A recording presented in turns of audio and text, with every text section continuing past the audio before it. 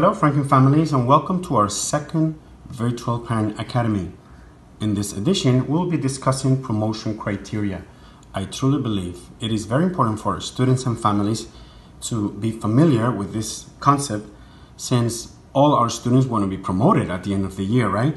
So um, please pay special attention to this presentation and don't hesitate if you have any questions to email me. Uh, let me start by saying that everything related to promotion criteria can be found in policy 6000.1.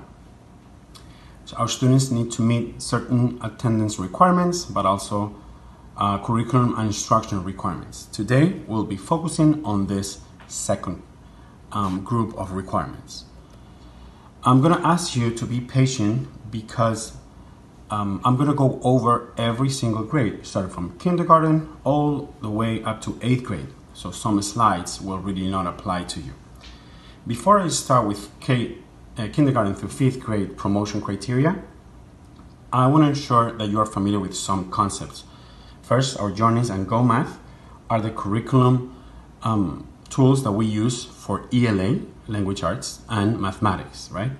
The BAS or Benchmark Assessment System, it's um, a tool that helps us identify each student reading level uh, during a one-on-one student-teacher assessment. I will, I will be discussing this tool more in depth because it is very important to be familiar with this one. ELL or ESOL students are those students who have who are learning English as a second language, English language learners, and ESE and IEP um, I'm sure that you are familiar with this concept. Um, exceptional student education is um, its purpose is helping each child with a disability progress in school and prepare for life after school. So, you know, um, Journeys and Go Math are from Houghton Mifflin Harcourt or HMH. They're the Florida Journeys and the Go Math. I'll be talking about these two resources uh, through my presentation.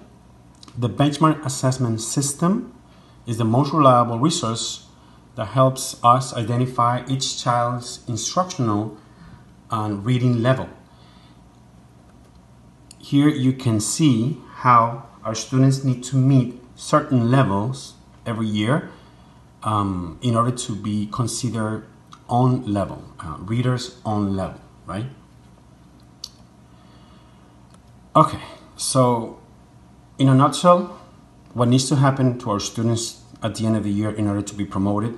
As you can see here in kindergarten, our students' BAS score needs to be a level B or greater.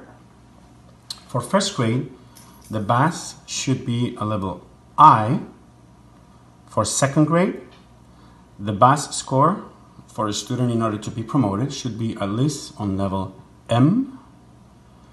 In third and fourth, third, fourth, and fifth, it changes a little bit. Third grade is a very important year. It's what we call a mandatory retention year. Um, the first criteria will be scoring a level two or greater in the FSA or the Florida Standards Assessment Test for language arts. As you see, there is no math in this grade um, they don't consider math for retention or promotion. In grades 4 and 5, students need to meet a level 2 or greater in FSA for language arts, but also for mathematics. So now I'm going to start grade by grade. In kindergarten, as I mentioned, our students need to be on a letter B on the benchmark assessment system in order to be promoted. But there is some good cause promotion criteria as well. If you see, letter B means that a student is reading at a 0.5, which means mid-year kindergarten level. That's what a student needs to accomplish in order to be promoted. But also, student who hasn't met that criteria will be taking a test at the end of the year from the journeys. It's a um, tests that focuses on phonemic awareness, phonics, and high frequency words. And if the student scores more than 70, student will be promoted. Also, if the student recognizes 48 out of 52 letter names and is able to distinguish 20 out of 26 letters and sounds, and 15 out of 20 concepts of print that can be used for a student to be promoted. Also, if a student has been retained, previously retained in kindergarten, the student um, can be promoted. Or if a student is a ELL or ESOL student that has been less than two years in the country. If a student has an IEP, the student can also be promoted. For first grade, the first criteria that we use, like I mentioned, is the BAS. Student needs to be on a letter I or 1.8 in order to be promoted. Also, if the student hasn't met this criteria, we'll take a test, we'll have the student taking a test on the HMH journeys and needs to score a 70 or above. Also, if the student has been previously retained, we can go ahead and promote the student. Again, if a student is an ESOL student with less than two years, or if a student has an IEP or is an ESE student, we can go ahead and promote that student. For second grade, very similar. If the student is a level M or above on the BAS, the student will be promoted. If the student is less than a level M, we'll go ahead and provide the student with a test from the HMH Journeys, is the end of year test. Student needs to score level 70 or above Again, if the student has been retained before, we can go ahead and promote the student. Again, the ESOL or ELL uh, component, less than two years in the country, or a student, a student with an IEP can also be promoted. Well, third grade is a little different. Third grade is what we call a mandatory retention year. The criteria is very black and white. Students need to score a level 2 or above in FSA, English Language Arts. Um, there are some good cause promotion criteria that can be also used. Students who don't pass the FSA with a 2 or above will be taking at the end of the year um, a test. It's usually called the SAT 10. Um, if a student still doesn't pass that test, we'll go ahead and use the portfolio this is an assessment that students are completing through the year in the classroom. Then we have Summer Academy. Those students who still have not passed will go to summer school and take a test at the end of Summer Academy. And the following year, in September, what we call the mid-year assessment is another test that if students pass with a 44 or, or above, 44%, can also be promoted. Um, if a student has been retained previously um, in the previous year, kinder, first or second grade, it's also a good cause for a student to be promoted. Again, the ESOL or ELL, um, less than two years in the country, and an ESE student who has already been uh, retained in the school. For fourth grade, we're going to focus on FSA, ELA, and math. Students need to pass with at least a level 2 in both in order to be promoted. In fourth grade, we're back to the BAS. Students can be promoted if they score a level S or above in the BAS. If students still need more tests in order to be promoted, we'll be using the HMH, the HMH um, reading and math for journeys and from journeys and from Go Math as well. Um, students need to pass with a 60 in math or a 70 in ELA. Also, you can see here students who have been retained previously. The ESOL promotion which is students who have in the country for less than two years, but also students who have been previously retained, ESE students who have been previously retained can also be promoted. Fifth grade, it works very, very similar. Score level two or above in ELA and math. If students don't meet that criteria, we can go ahead and check the BAS. Students need to be in a letter V. Um, or above for reading. Again, we can use the journeys and the GOMATH end of year testing to promote our students. Students who have been retained previously in grades um, kinder through fourth can also be promoted.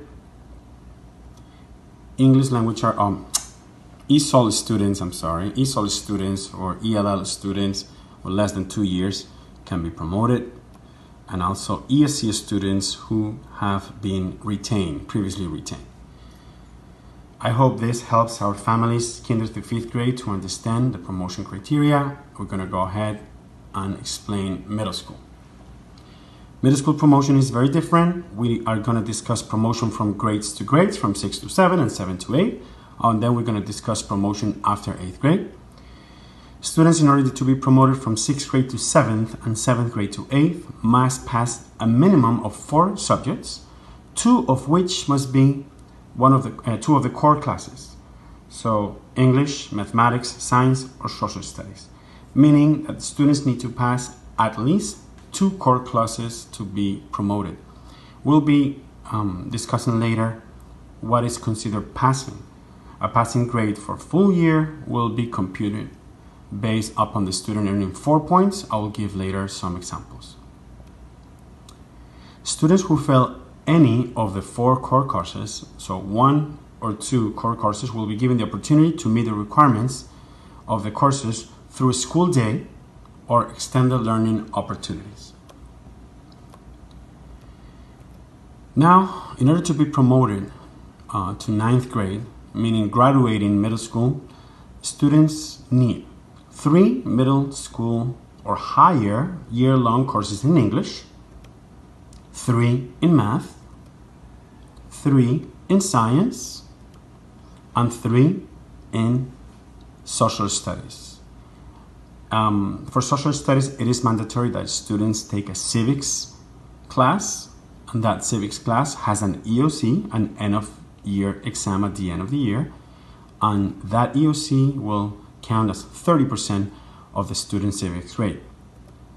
Also, it is mandatory one course in career and education planning to be completed through uh, either 7th or 8th grade. At Franklin Academy, our students complete this course in 8th grade. So as a summary, um, our students during middle school, grades 6, 7, and 8, need to be completing three different courses in language arts, three in math, three in science, and three in social studies, meaning a total of 12 core classes during those three years. Also, a seventh grade civics class that has an EOC at the end of the year, and a career education class that our students take in eighth grade. So how do you pass a course? You need four points for a student to pass a course. Every quarter, students are earning points. If a student scores an A, scores four points, a B is worth three points, a C, two points, a D is still one point, and of course you don't get any points if you score an F. I wrote down a couple of examples down there. If you see, students with an A, B, B, C, for example, will score 12 points, which is passing. Remember, passing is four points. As you see in my fourth example, student with straight D's will be earning four points, which is still passing. Okay, you can look at the different examples that I show there. Again, it's a four point passing grade. Okay. Well, this is everything about promotion criteria. I hope you enjoyed this presentation and I hope that you uh, really found this presentation very useful. If you have any questions, please feel free to email me at delgado.sergio at franklin-academy.org or um, contact our, our school and I will be very happy to talk to you. It's been a pleasure to present for you all and I'm looking forward to see our students um, succeed this year. Thank you all.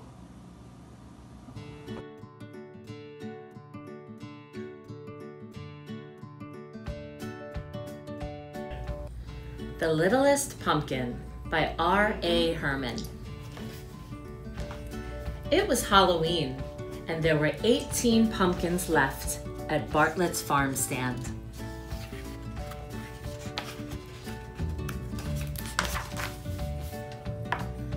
The pumpkins looked their very best because they all wanted to be taken home and made into jolly jack o' lanterns. The littlest pumpkin had the biggest dreams of all. She saw herself shining in the dark with ghosts and monsters and witches and fairies gathered around her singing a Halloween song. And today was the day when all her dreams were going to come true.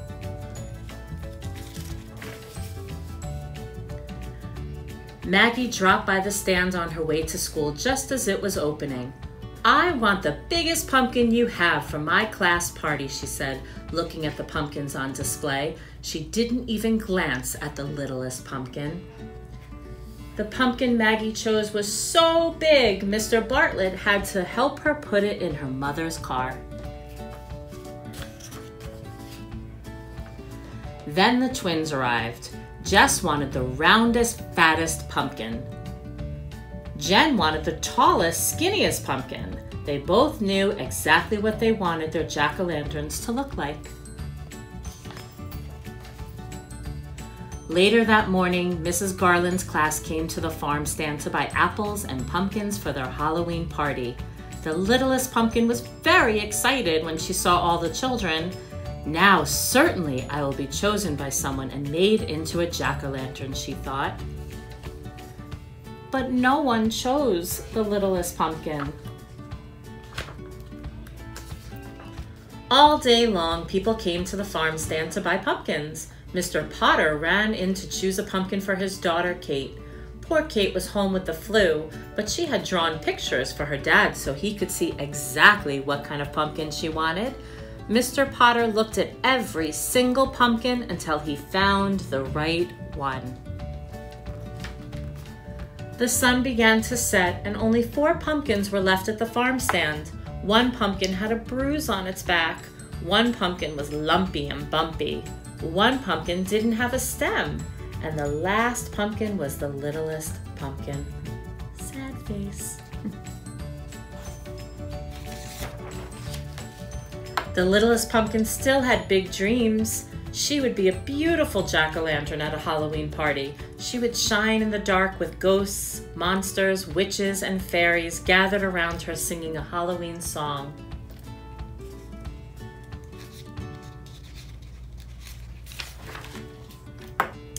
But while the littlest pumpkin was dreaming, Gabe and Mona arrived. They ran up to the four remaining pumpkins. Gabe grabbed the stemless one. Perfect, he said. My jack o' lantern is going to wear this hat. Mona picked up the littlest pumpkin. Oh, how cute, she said. The littlest pumpkin was so happy. All her dreams were going to come true. But it's too small for me to carve into a jack o' lantern, said Mona, putting it down. Then she picked up the lumpy, bumpy one instead. Now this one is perfect.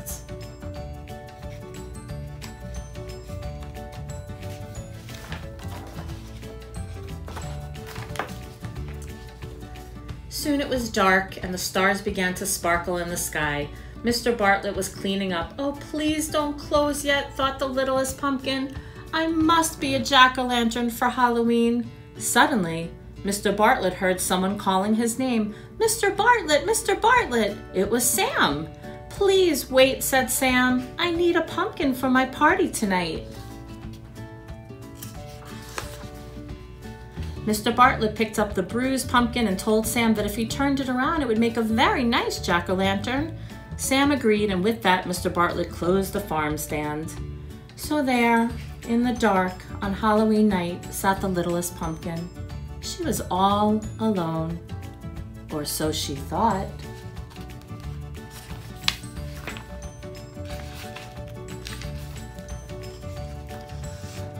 For just when the littlest pumpkin was sure she was going to spend Halloween night all alone in the empty farm stand, mice started scurrying around her. They were decorating everything, wearing tiny costumes and carrying all sorts of Halloween goodies. And before the littlest pumpkin knew what was happening, she found herself in the middle of a Halloween party.